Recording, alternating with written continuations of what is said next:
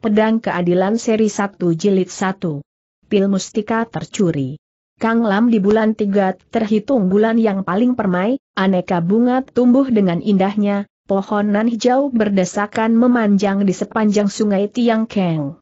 Di Karsidenan Keng Poh yang terletak dekat sungai Tiang Keng, terhampar sebuah hutan seluas ratusan hektar yang bernama Hutan Toho Alin.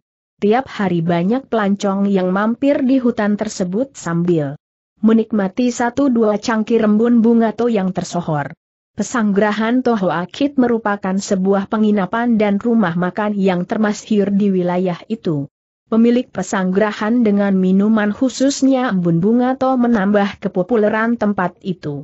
Pemilik pesanggrahan tersebut bukan hanya mempopulerkan tempatnya dengan minuman khas tersebut jauh di tengah hutan Toho Alin, ia pun mendirikan bangunan-bangunan loteng yang sangat megah dengan aneka bunga menghiasi sekeliling bangunan. Rangkaian bambu yang membentuk jembatan, sungai-sungai kecil dengan air jernih membuat panorama tempat itu makin memikat untuk didatangi. Dari deretan bangunan-bangunan megah itu, boleh dibilang Loteng Gihong, Loteng Hui Jui Lo serta Loteng Tia Centai merupakan bangunan yang paling terkenal di sana. Hari ini menjelang tengah hari dari jalan raya sebelah selatan muncullah dua ekor kuda yang dilarikan kencang. Lelaki yang berada di depan adalah seorang bocah lelaki berusia dua atau tiga belas tahunan, ia mengenakan baju hitam pekat dengan rambut yang dikuncir, sambil melarikan kudanya bocah itu menengok ke kiri kanan. Dengan wajah riang gembira, seakan-akan apa yang dilihatnya sepanjang jalan merupakan hal baru baginya. Kuda yang ditungganginya berwarna merah darah. Bulunya mulus tanpa campuran warna lain, dalam sekejap pandangan saja orang segera tahu kalau kuda itu merupakan seekor kuda jempolan. Orang yang mengikuti di belakang kuda merah tadi adalah seorang pemuda berbaju putih berusia 20 tahunan, wajahnya sangat tampan dengan tubuh yang tinggi, tegap dan kekar sayangnya wajah tampan itu kelihatan serius, alisnya selalu berkerut dan tak nampak secuil senyuman pun menghiasi bibirnya. Agaknya ia sedang dirundung banyak masalah. Kuda yang ditunggangi pemuda itu berwarna putih bagaikan salju. Biarpun sudah menempuh perjalanan jauh, binatang itu masih dapat berlari dengan tegap dan penuh semangat. Kedua orang ini, meski datang berbareng namun jelas menunjukkan sikap yang berbeda. Kalau si bocah selalu menampakkan senyum di kulum dan mendatangkan rasa sayang bagi yang melihat, sebaliknya pemuda itu amat murung, keningnya selalu berkerut sehingga mendatangkan kesan berat bagi yang memandang. Ketika tiba di depan papan nama Toho Akik, mendadak bocah berbaju hitam itu menarik tali les. Kudanya sambil memutar ke belakang, kepada pemuda berbaju putih itu ia berbisik. Toh aku, pemandangan tempat ini sungguh indah, bagaimana kalau kita minum teh dulu sebelum melanjutkan perjalanan? EHM pemuda itu berpikir sebentar, baiklah, Bocah berbaju hitam itu tertawa girang, dia segera melompat turun dari kudanya, lalu sambil menuntun kuda pemuda berbaju putih itu, ia kembali berseru. Hayo Toako, turun. Perlahan-lahan pemuda itu turun dari kudanya, gerak-geriknya amat lamban, bagaikan orang yang tak punya tenaga saja. Dua orang pelayan segera maju menyambut. Silahkan masuk tuan berdua katanya sambil menerima tali les kuda dari kedua tamunya. Jangan tampik bocah berbaju hitam itu seraya menggeleng, kuda tunggangan kami bukan binatang sembarangan mana bisa kalian menuntunnya. Kalau sampai kena sepak wah bisa runyam. Dengan agak kaget kedua pelayan itu menarik kembali tangan mereka, lalu setelah mengamati kuda-kuda itu sekejap, salah seorang menyahut sambil tertawa, Yaa, Sudahlah kalau begitu, silahkan Tuan Cilik menuntun sendiri. Pesanggrahan Toho Akit dibangun agak jauh menjorok ke dalam hutan, kira-kira tiga empat kaki jauhnya dari tepi jalan raya, sebuah jalan beralas batu putih membentang dari sana hingga ke depan pintu pesanggrahan, sementara bunga to yang harum semerbak tumbuh di kedua sisinya. Bocah berbaju hitam itu menambatkan kedua ekor kudanya di sebuah pohon to besar, lalu melangkah masuk. Tiba-tiba seorang pelayan maju menghadang jalan pergi bocah tadi sambil serunya, Chuan kecil, harap lewat sini, sambil berkata, ia menuding sebuah jalan setapak yang membentang di samping jalan utama. Hei, bagaimana kamu bocah itu mendelik, mengapa kami harus melewati jalan setapak? Maaf, Chuan kecil, pelayan itu tertawa, ruang utama sebelah kiri amat ramai dan gaduh. Pada umumnya dipakai kaum pedagang keliling dan kulit kasar, sedang jalan setapak ini khusus diperuntukkan tamu terhormat. Oh oh oh, Begitu rupanya bocah itu tersenyum. Dengan langkah lebar dia menelusuri jalan setapak tadi menuju ke tengah hutan. Pelayan itu membawa kedua orang tamunya ke sebuah ruang kecil yang amat artistik selain bersih dan rapi, di luar jendela belakang terbentang sebuah sungai kecil dengan air yang jernih jauh di belakang sana, samar-samar terlihat sudut bangunan loteng. Chuan berdua ingin pesan apa tanya Seng pelayan kemudian. Pemuda berbaju putih itu hanya membungkam, bukan saja pemandangan alam yang begitu indah tidak membuyarkan kemurungannya, bahkan mimik mukanya pun tetap dingin, kaku dan murung. Bocah berbaju hitam itu berpikir sejenak lalu jawabnya, apa sajalah yang enak boleh dikeluarkan. Mula-mula pelayan itu agak tertegun, lalu ujarnya sambil tertawa. Tampaknya Tuan berdua datang dari jauh sehingga tidak mengenal kepopuleran tempat kami. Bukan hamba sengaja membual, tak satu pun hidangan kami yang tak enak terutama bun bunga to, betul-betul sudah populer sampai di mana-mana. Sudahlah, tak usah banyak bicara, cepat keluarkan potong bocah tadi tak sabar. Sambil menyahut, buru-buru pelayan itu berlalu. Tak lama kemudian, sayur dan arak telah dihidangkan. Perlahan-lahan pemuda berbaju putih itu memenuhi cawannya dengan arak. Tapi sebelum diteguk isinya, tiba-tiba ia meletakkan kembali cawannya ke meja. Toako, Toako bisik bocah berbaju hitam itu sambil menggeleng, mengapa sih kau murung sepanjang hari? Bukan cuma membungkam, wajahmu kelihatan kusut, benar-benar membuat perasaan orang tak sedap melihatnya. Dengan wajah menyesal pemuda berbaju putih itu memandang bocah itu sekejap, tiba-tiba ia berkata, Coba dengar, dari mana dagangnya suara orang belajar di tempat keramaian semacam ini? Bocah berbaju hitam itu coba memusatkan perhatiannya, betul juga. Dari balik hutan bunga to itu lamat-lamat terdengar suara orang membaca, bahkan diiringi suara tali kecapi, hal ini segera menimbulkan rasa heran dalam hatinya. Hem, rupanya ada orang gila di situ, dengusnya, masa mau belajar malah datang ke tempat ramai macam ini. Betul-betul merusak suasana. Coba dengar. Dia malah memetik kecapi untuk mengiringi syairnya. Benar-benar sinting. Adik Kliong, jangan memaki orang lain, tegur si pemuda berbaju putih sambil menengok keluar jendela, suara kecapi datangnya dari arah barat, sedang suara syair datang dari barat daya, kedua suara itu berasal dari dua tempat yang berbeda. Bocah berbaju hitam itu mencoba memperhatikan dengan seksama, sesaat kemudian serunya, betul juga heran, mengapa dari balik hutan bunga to dapat muncul suara kecapi dan syair? Bagaimana kalau ku periksa? Kau ingin mencari gara-gara? Tak usah khawatir, aku kan cuma menengok sebentar, ditanggung tak akan mencari gara-gara, kata si bocah sambil tertawa. Biarpun pemuda berbaju putih itu tidak menyetujui namun ia pun tidak berusaha mencegah. Dengan sekali tekan ke permukaan meja, bocah berbaju hitam itu segera melesat keluar dari jendela dengan kecepatan luar biasa. Tampak bayangan manusia berkelebat lewat di antara bunga-bunga, tahu-tahu ia sudah lenyap dari pandangan. Memandang bayangan tubuh yang menjauh itu, pemuda berbaju putih itu menghela napas panjang, aaai dasar bocah nakal.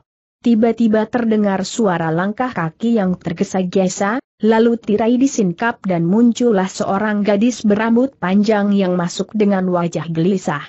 Belum lagi pemuda berbaju putih itu menegur, gadis baju hijau itu sudah menggoyangkan tangannya berulang kali melarang ia berbicara. Gadis itu cepat-cepat bersembunyi di belakang tubuhnya, menarik jubahnya yang panjang dan menutupi sepasang kakinya yang nampak dari luar.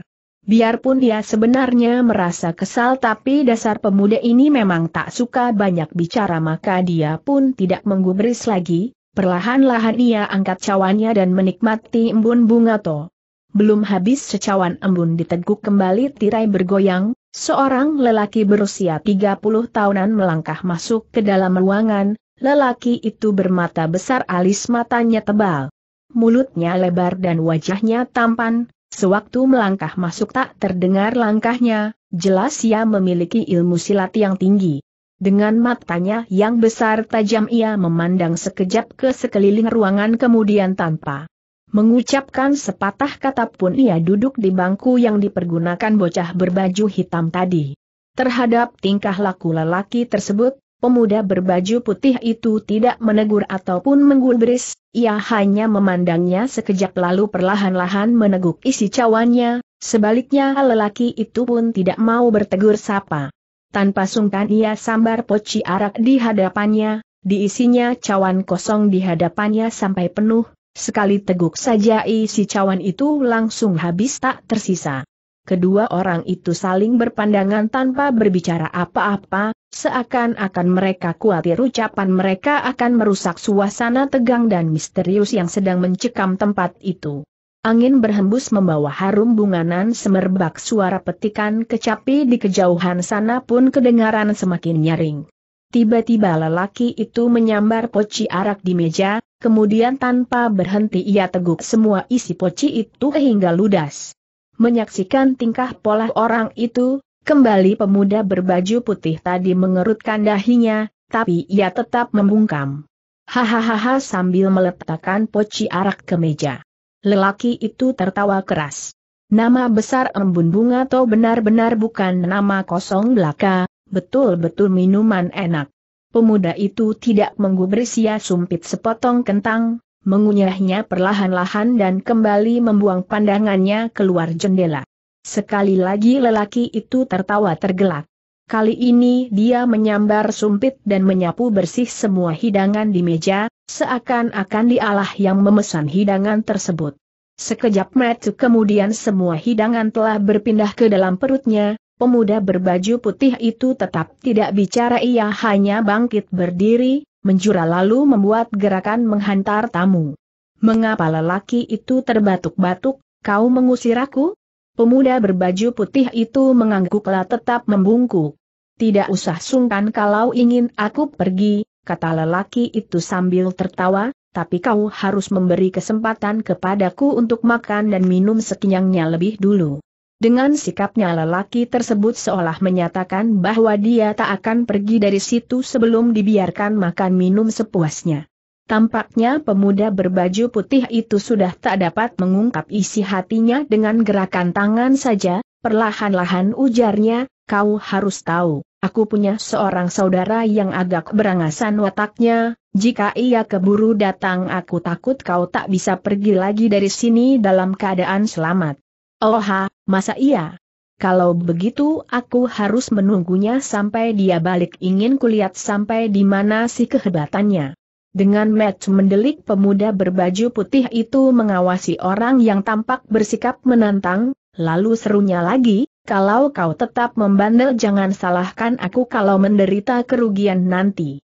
Tiba-tiba lelaki itu menundukkan wajahnya, lalu bergumam, menyembunyikan buronan, melarikan gadis orang, apakah sudah tak menggubris soal hukum? Ucapan tersebut kontan membuat pemuda itu tertegun, tanpa sadar ia menunduk dan menengok ke bawah, saat itulah sambil tertawa terbahak-bahak lelaki tersebut menjulurkan tangannya menyambar ke muka. Dengan perawakannya yang jangkung dan tangannya yang panjang, biarpun terhalang sebuah meja, Ternyata sekali sambar ia telah mencengkeram tubuh nona berbaju hijau itu dan menyeretnya keluar. Belum sempat pemuda berbaju putih itu menghalangi si nona berbaju hijau itu telah menjerit, kakak. Hahaha, budak binal, ayo ikut aku pulang seru lelaki itu sambil tertawa, kemudian sambil memberi hormat kepada pemuda berbaju putih itu, katanya lagi, kalau kami dua bersaudara telah mengganggu ketenangan tuan, mohon dimaafkan. Pemuda berbaju putih itu manggut-manggut sebagai balasan hormat.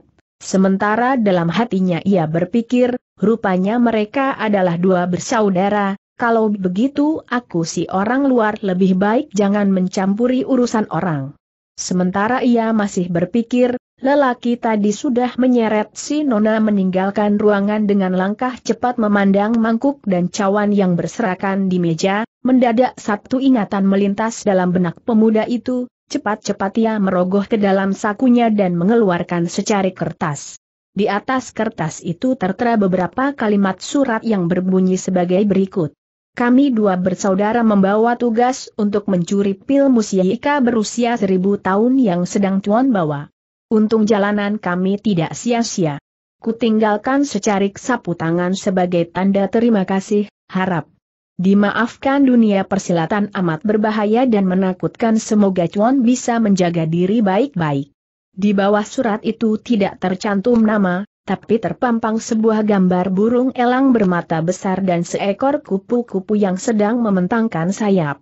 Tampaknya pemuda berbaju putih itu menjadi sangat terkejut oleh tulisan di atas kertas tersebut hingga kehilangan semangat ia termangu-mangu dan gelagapan, tak tahu apa yang mesti diperbuatnya, Selang berapa saat kemudian ia baru merogoh ke dalam sakunya untuk memeriksa.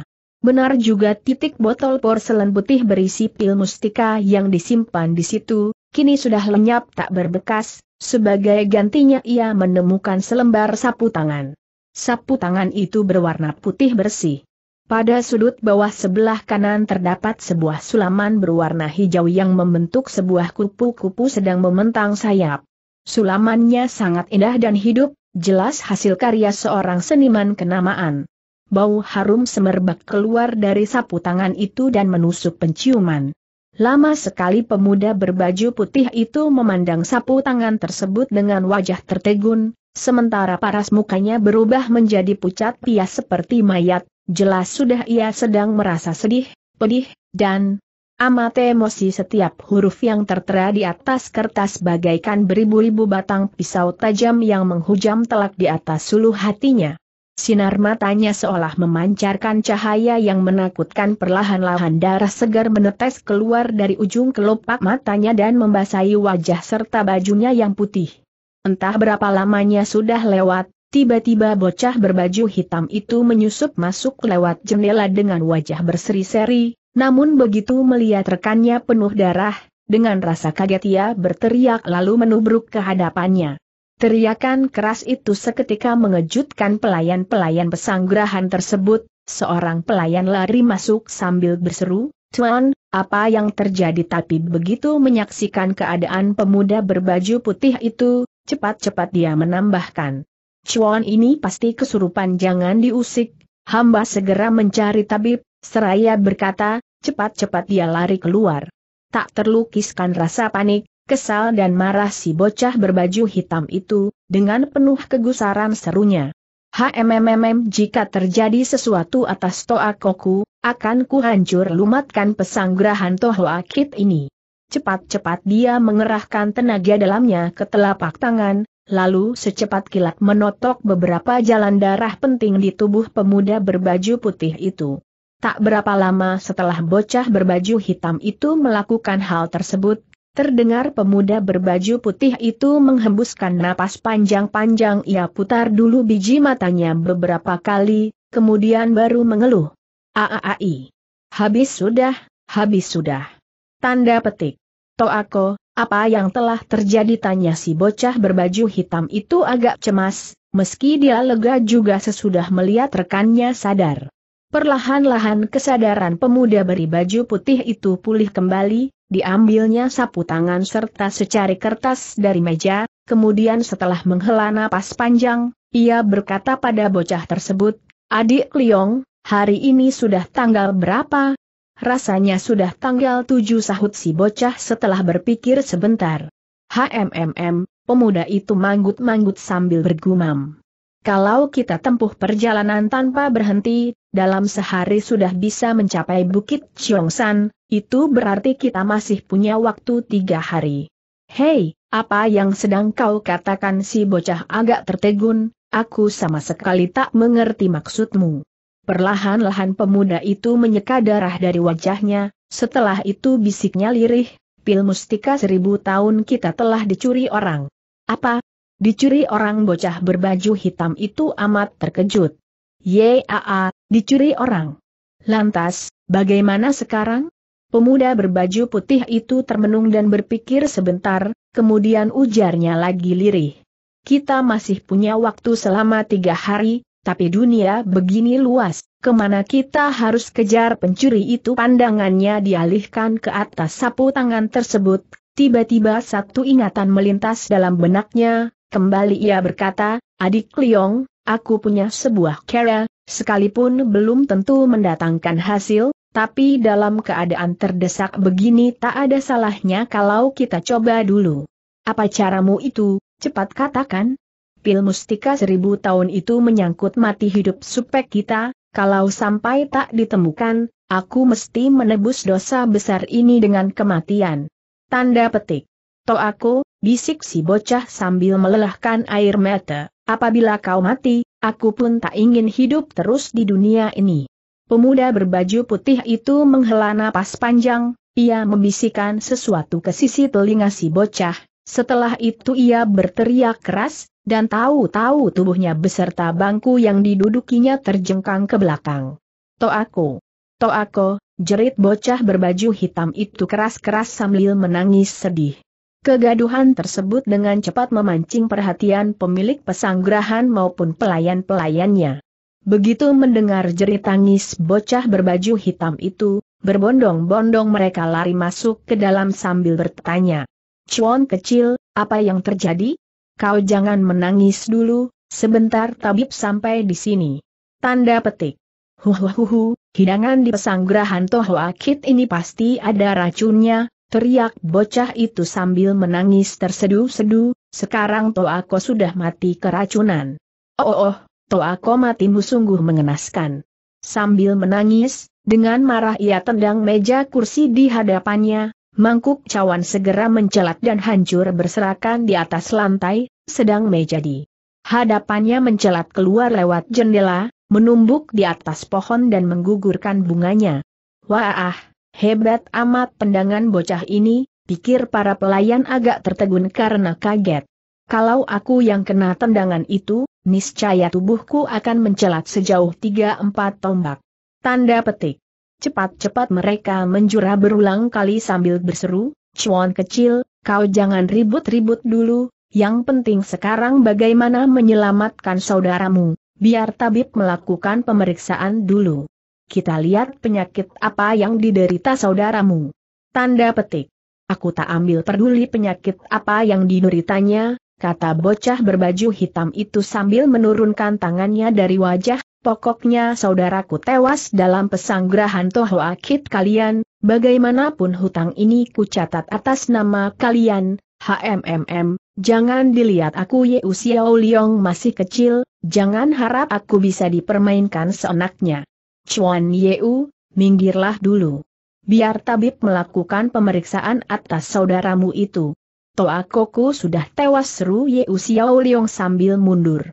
Tabi Pong, silahkan ujar Seng pelayan sambil memberi jalan. Dengan sepasang kacamata yang tebal bertengger di atas batang hidungnya, Tabi Pong berjongkok dan mulai memeriksa denyut nadi pada pergelangan tangan pemuda berbaju putih itu, kemudian sambil menggeleng katanya. Ah ah ah, terlambat sudah anggota tubuhnya mulai mendingin, denyutan nadinya juga sudah berhenti, Aaai lebih baik siapkan saja upacara penguburan baginya. Lalu tanpa bicara lagi dia ngeloyor pergi dari situ.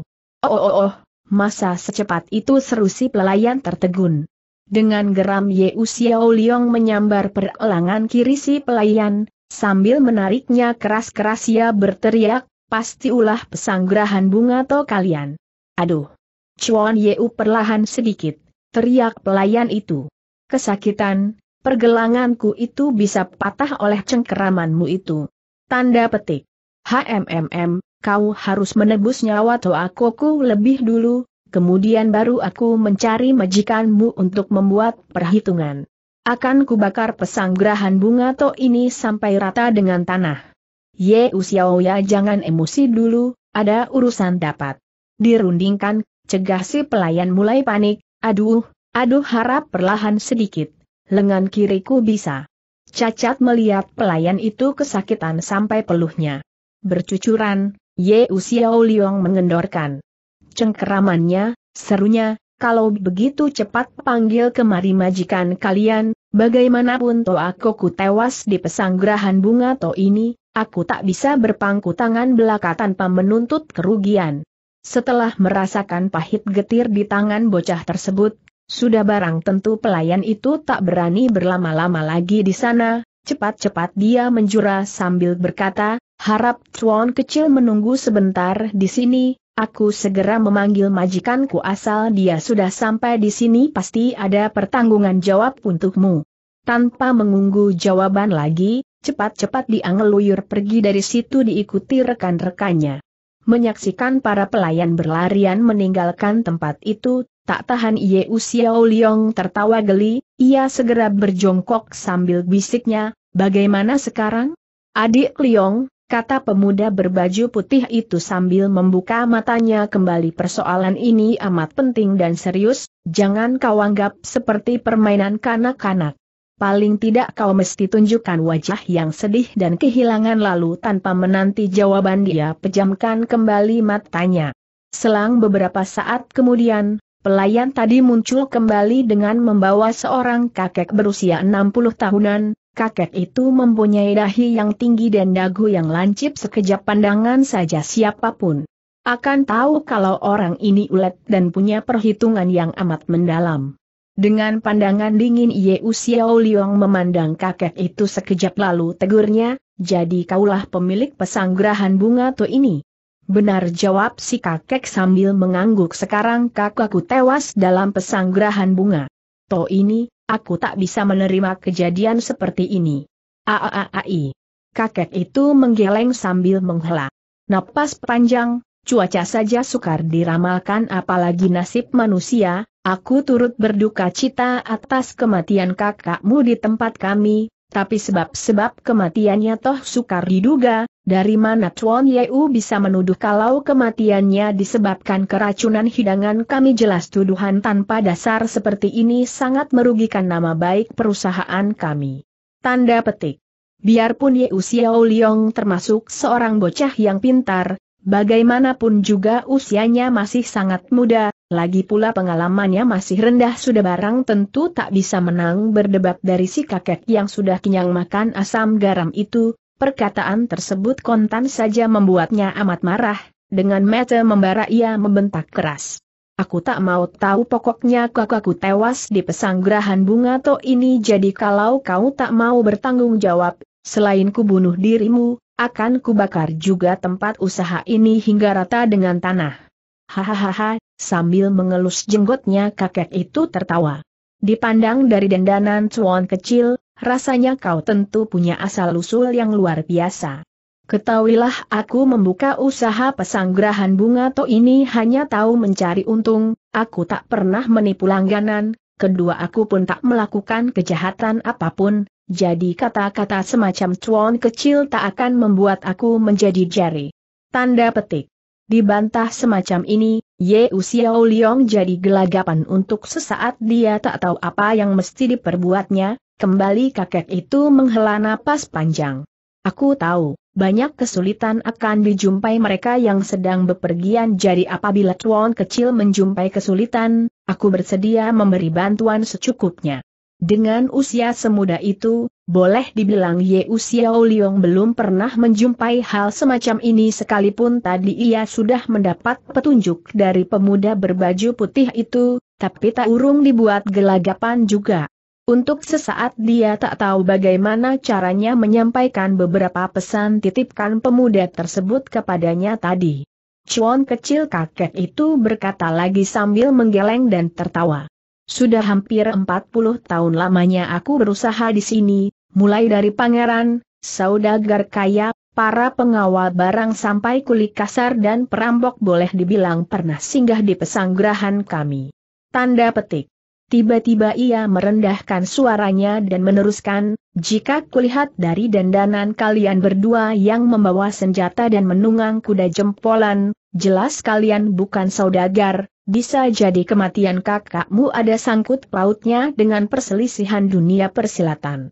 Eh saudara kecil, aku tahu meski umurmu masih kecil tapi ilmu silatmu sudah mencapai tingkatan yang luar biasa, Aku harap kau mau mempertimbangkan kembali perkataanku tadi. Licik benar orang tua ini, pikir Ye Usiau satu Iong. Untung dia belum tahu kalau kakakku cuma pura-pura mati. Maka dengan berlagak sedih katanya, soal dendam atas kematian kakakku, aku bisa mengatasinya sendiri dan kakek tak usah turut campur, cuma aku mempunyai satu permintaan harap kakek bersedia mengabulkan. Katakan saja tuan kecil. Terus terang saja bagi kami orang-orang persilatan, mati hidup bukan persoalan besar karena kami sudah terbiasa hidup di bawah ancaman senjata, tapi sebab-sebab kematian kakakku sangat aneh. Dia bukan mati karena terkena senjata rahasia, dia pun bukan terbunuh dalam suatu pertempuran, jadi kami harus menunggu sampai ketua kami tiba di sini dan menyelidiki sebab-sebab kematiannya baru bisa meninggalkan tempat ini, jadi aku berharap kakek bersedia meminjamkan tempat yang sepi untuk menyimpan jenazah kakakku sementara waktu. Begitu ketua kami tiba dan berhasil mengetahui sebab-sebab kematiannya, jenazah kakakku segera kami kuburkan. Kata-kata itu segera memberikan reaksi yang cukup besar, buru-buru kakek itu mangguk berulang kali, tak usah khawatir tuan kecil, segala sesuatunya akan kuatur hingga beres sambil menitahkan anak buahnya untuk menggotong pergi jenazah pemuda berbaju putih itu, dia berkata lagi kepada Ye Xiao Liong sambil terawa. Soal jenazah kakakmu pasti akan kami selesaikan sesuai dengan tata cara, cuma, Aku pun mengharapkan bantuan dari Tuan kecil. Biarpun hati kecilnya keheranan, Ye Xiao Liong tidak menunjukkan reaksi apa pun. Katanya kemudian, kalau kakek ingin menyampaikan sesuatu, silahkan diutarakan. Apabila ketua kalian sudah sampai di sini, aku harap Tuan kecil bersedia memberi kabar kepadaku hingga aku bisa menyiapkan perjamuan untuk menyambut kedatangannya. Dengan pengalamannya yang puluhan tahun, kakek itu sadar betapa menakutkannya peristiwa bunuh-membunuh di dalam dunia persilatan, siapa saja kalau sampai terlibat niscaya keluarganya akan tertimpa bencana. Ahem. Kalau soal ini Ye Xiao Liong berpikir. Sejenak, begini saja, akan ku beri kabar setelah melaporkan persoalan ini kepada ketua kami. Oh tentu saja, tentu saja. Sementara pembicaraan masih berlangsung, jenazah pemuda berbaju putih itu sudah digotong menelusuri hutan menuju sebuah bangunan terpencil yang sepi tapi bersih. Bangunan itu berdiri sendiri dengan pintu berwarna merah dan atap berwarna hijau.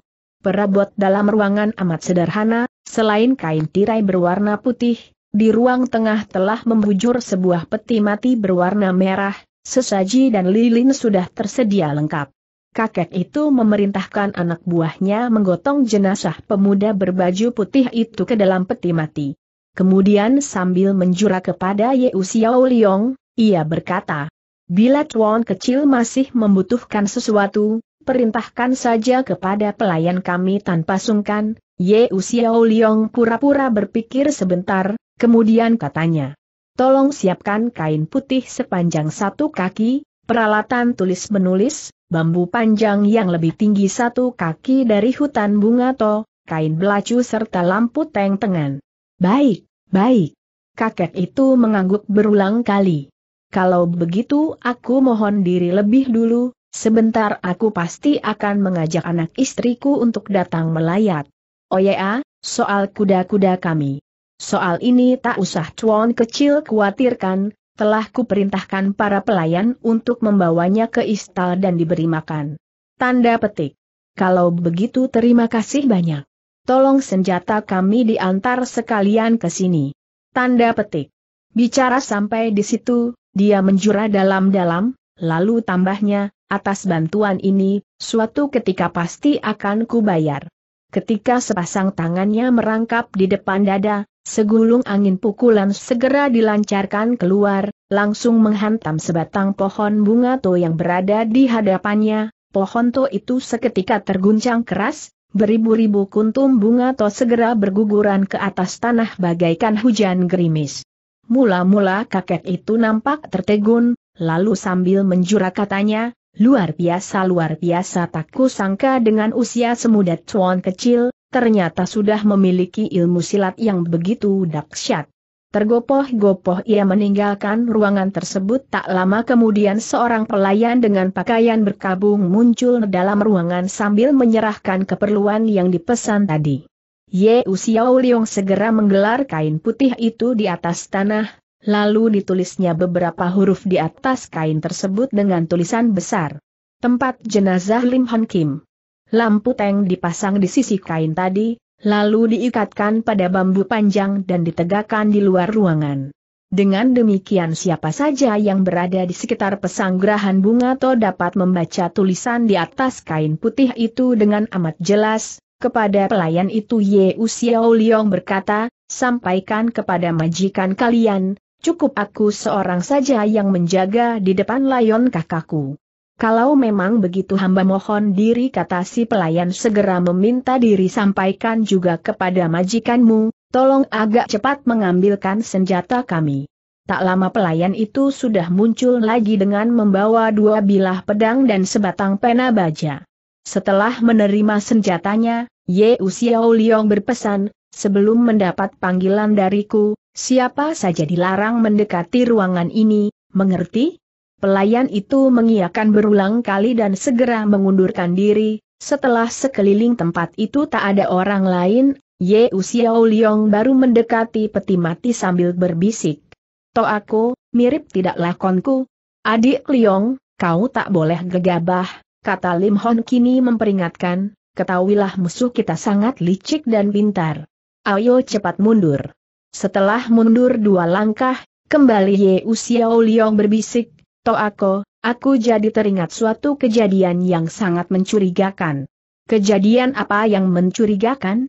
Dua orang pelajar yang berada di loteng tiap centai rata-rata memiliki sinar mata yang amat tajam dan dahi yang menonjol tinggi sudah jelas mereka memiliki tenaga dalam yang amat sempurna, anehnya, Ketika aku mendekati bangunan tersebut ternyata mereka tidak menengok sekejap pun ke arahku, seolah-olah mereka tidak menyadari kedatanganku. Tanda petik. Oye Asela Lim Hon Kim, berapa usia mereka? Laki atau perempuan? Kedua-duanya lelaki seorang berusia 40 tahunan, sedang yang lain berusia antara 23, 4 tahunan. Aha, Salah orang yang mencuri pil mustika kita adalah seorang pria dan seorang wanita kemudian setelah berhenti sejenak, tambahnya. Ayo cepat mundur, jangan sampai perbuatanmu ketahuan orang, jika sampai dicurigai sia-sia saja usaha kita selama ini. Tapi sekarang kan masih pagi. Lagi pula tak seorang manusia pun di sekeliling tempat ini apa salahnya kalau kita bercakap-cakap dahulu, dan lagi orang yang telah mencuri obat kita toh belum tentu balik kemari. Lim Hon Kim tidak menggubris lagi dia pejamkan mata dan mulai mengatur pernapasan terbentur batu terpaksa Yeo Xiao Liong angkat bahu dan masukkan sebilah pedang ke dalam peti mati, lalu menuju ke depan sembahyang membakar sedikit dupa dan mulai duduk termenung.